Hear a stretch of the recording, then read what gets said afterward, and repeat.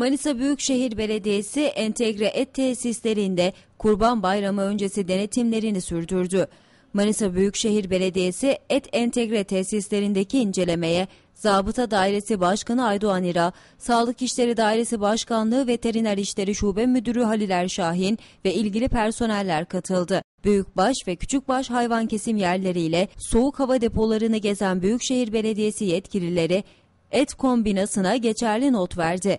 Kurban Hizmetleri Komisyonları tarafından tüm ilçelerde kurban satış ve kesim yerlerinin belirlendiğini belirten Veteriner İşleri Şube Müdürü Halil Erşahin, bu yerlerin Manisa Büyükşehir Belediyesi web sitesinde görülebileceğini söyledi. Malum olduğu üzere e, tüm ilçelerimizde kurulan e, Kurban Hizmetleri Komisyonu'nda e, kurban satış yerleri ve kurban kesim yerleri belirlendi bütün ilçelerimizde. Burada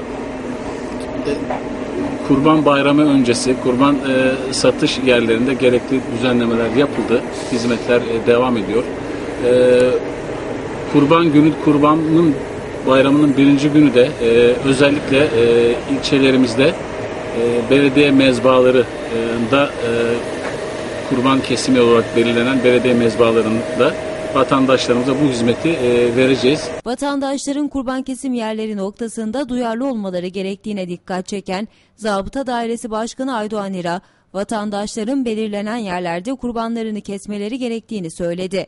Kurban Hizmetleri Komisyonu tarafından 2015 yılı kurban kesim yerleri de belirlendi.